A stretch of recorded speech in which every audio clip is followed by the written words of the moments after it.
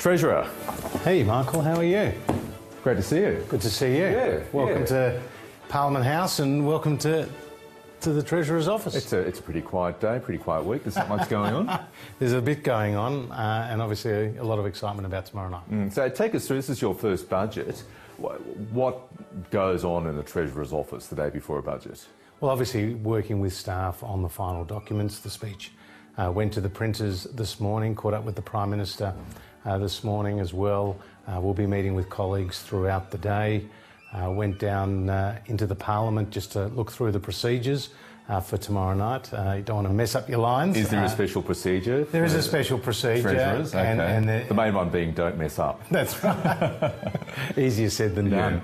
Uh, but uh, no, that should be a lot of fun uh, tomorrow night. And then it's obviously uh, media uh, commitments after that and, uh, and a very busy rest of the week. So if you get the, a, a, brainwave and want to think of a great line for the speech, it's too late to put it in because the speech has gone to the printers and you can't make last Well, minute changes. It won't make to the to the printed version, but uh, obviously tomorrow is going to be a really busy day because there's the lockup with around 500 people. yeah, Uh, held captive. Held captive. Against their will. Held to captive. say. Just- Every just- journalist in the country. just Chupa Chups and chocolate on, Yeah. on, on demand.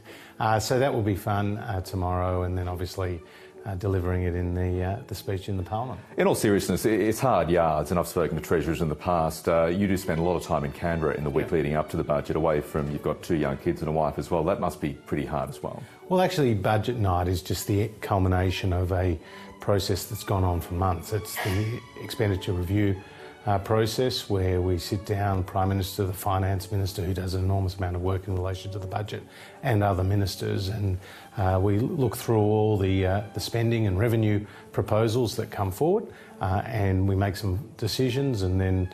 Uh, those decisions are finalised very close to the budget. But the last week, uh, I've been bedded down in in Treasurer's in Treasury's building, and that's been a lot of fun working with the the public servants as well on the documents.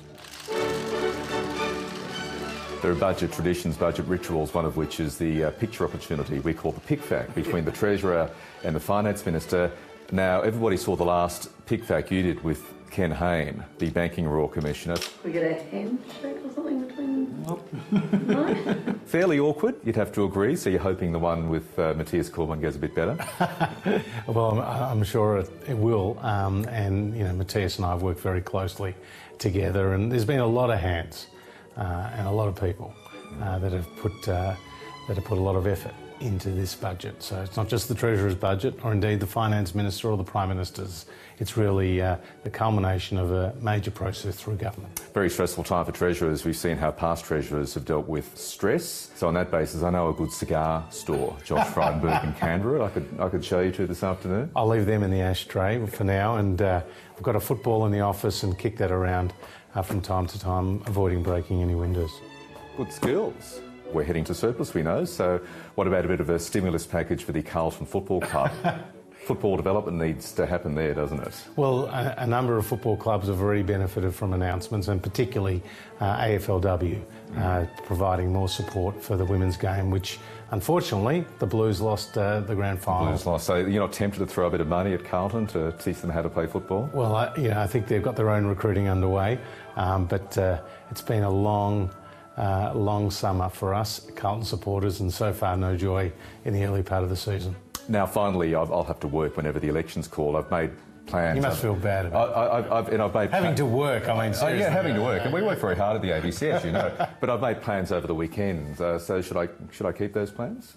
In relation to what? To elections being called. Oh, right. Well, obviously, uh, I'm not at liberty to say that's a prime ministerial decision, and everyone will be watching.